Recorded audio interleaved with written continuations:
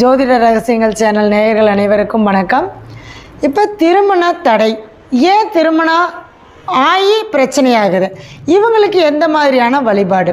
இப்போ நம்ம திருச்செங்கோட்டில் இருக்கக்கூடிய அர்த்தநாரீஸ்வரர் பார்த்திங்க அப்படின்னா அதாவது இந்த தமிழ்நாட்டுக்குள்ளேயே ஆண் பாதி பெண் பாதி இருக்கக்கூடிய ஒரே சிவஸ்தலம் அப்படின்னா அது அர்த்தநாரீஸ்வரருடைய ஸ்தலம் தான் அங்கே போய் நீங்கள் ஒரு பிரார்த்தனை வச்சுட்டு வந்தீங்கன்னா திருமண தடை இருக்கிறவங்களுக்கு நிவர்த்தியாகி அது கல்யாணம் நடக்கும்.